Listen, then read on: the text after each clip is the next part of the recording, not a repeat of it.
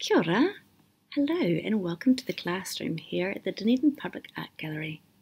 My name is Jen and this is another episode of Art at Schools. Today we're going to do something a little bit different. We're going to take a closer look at one of the beautiful paintings in our collection.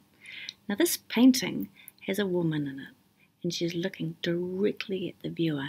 It's almost like she's staring right at you. We can see her very well, how she's dressed, everything she's holding, and we can also see what she's about to do. But we can't see much further around her. There's a tight frame, and I always wonder when I look at it what is happening just beyond the frame and who else might be with her. Now, she is standing on a train platform, and in the background at the top is a steam engine, so we can guess that she's going on a big train trip. But who is she going with? It suggests a crowd around here, and you can imagine the sounds of people talking on the platform, but we can't really see many of them.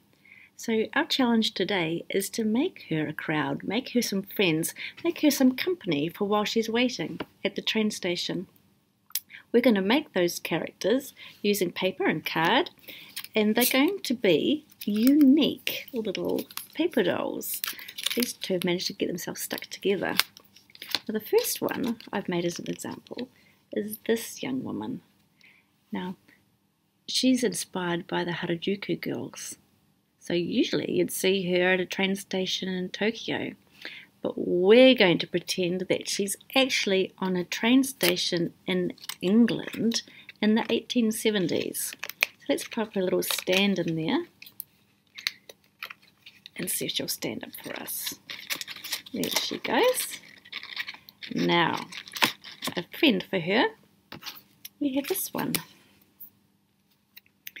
Now, this is a different kind of traveller, isn't it? Not one that you'd expect to see at a train station, but we can make this a lot more fun by using our imaginations. It doesn't have to be a person that we'd usually bump into. What about an alien? Now, with your class, you'll have all sorts of ideas and you'll make many, many, many, many, many paper dolls. So, a huge crowd to keep the lady waiting company at Willesden Junction. This painting is called Waiting for the Train, Willesden Junction, and was painted a long time ago in the 1870s by a French artist called James Tissot. Now we've got just enough time for a quick game of I Spy. Are you ready? Now I spy with my little eye a woman. Ooh, that was fast. I spy with my little eye a steam engine. Good. I spy with my little eye a hat box.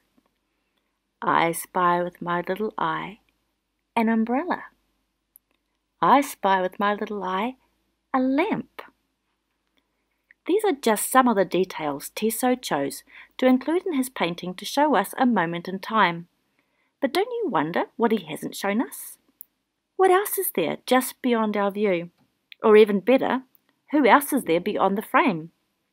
Let's create a crowd of characters to be this young woman's companions. We'll need a piece of paper and a piece of cardboard, pencil, glue, scissors, ruler, and something to colour in with. You're going to draw your character on the piece of paper to start with. Cut it out and colour it in. Turn it over and using the glue stick cover the back and now get your ruler and measure a 4 centimeter high dot along the short edge of your cardboard. Move it along, draw another dot and make a line across there. Now cut away any paper from underneath the character's feet and stand your character on top of that line in a bit from the edge so there's some space around it. Now measure an equal distance from one side as to the other side and draw a line down. Cut up the line and along the line and then around the character leaving some space. This removes the awkward bulk and will allow you to come back around with the scissors much more comfortably. Now cut right up to the edge now. Take your time and move the character as you need to so you can get into all those little tight spots.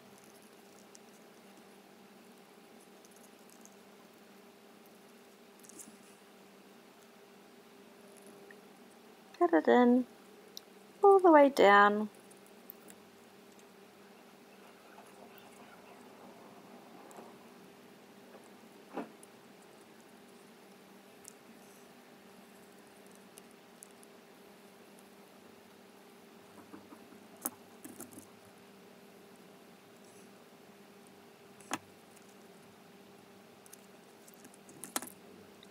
Now measure the length of the stand and halve it.